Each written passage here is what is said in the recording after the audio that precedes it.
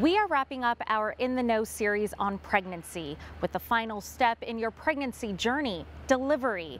All you need to know to prepare for the day you meet your baby. Here's Dr. Jeffrey Thomas, OBGYN and Chief Medical and Quality Officer at Community Regional Medical Center. We are talking about what to do to prepare for delivery, a life-changing moment for many of us. So, doctor, talk to us about when a woman finds out she is pregnant and she's, you know, in that third trimester and preparing for this big life change. What should she do to prepare for delivery?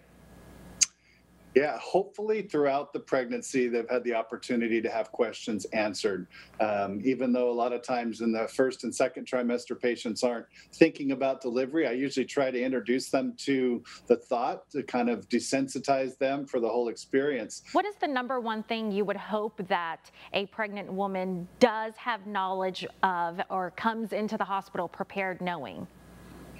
I think that there's a lot of anxiety centered around pain management. Um, you know, people have heard stories about the pros and cons of epidural anesthesia. Everybody's terrified about uh, C sections for some reason. Um, it's you know it's it's not a pleasant thing to have uh, a surgical procedure, um, but I, it's just important that everybody understands that there are medical indications for a cesarean delivery.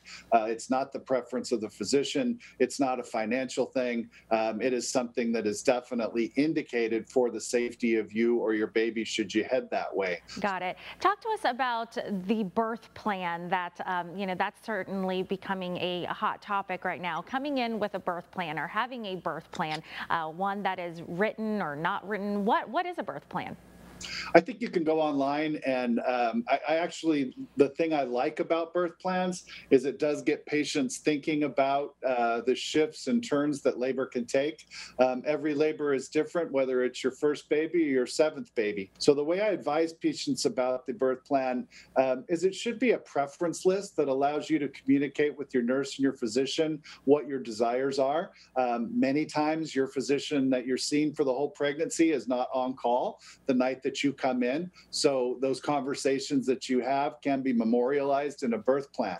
The problem with the birth plan being set in stone is that when you plan for something and you don't achieve it, you're considered a failure. So I guess the, the worst thing that you can do is develop a plan that was so intricate uh, and so personalized that if you deviate from that plan, you feel that there was something that you could have done differently. Understand that most birth plans within reason are executed and most preferences are taken into account by both the labor and delivery nurses and the physicians caring for patients. So, besides the birth plan, doctor, what else should uh, a woman and her partner bring to the hospital? What should you uh, pack? I think you should bring uh, hope.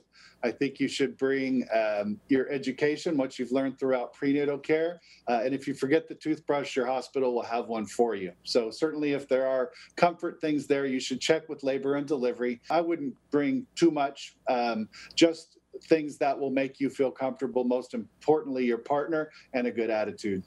Excellent. Thank you very much for your time, doctor, on this topic. Great tips for everyone. Thank you.